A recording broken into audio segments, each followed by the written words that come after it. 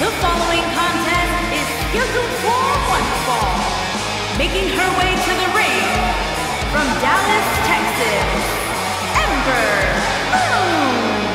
Here comes a woman who many are saying is the future of the women's division.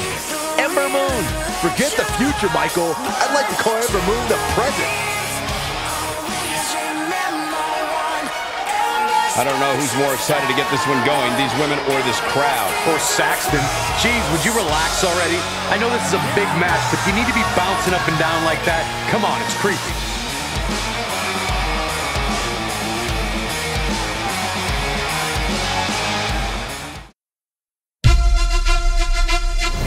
Get the deluxe edition and play four days early.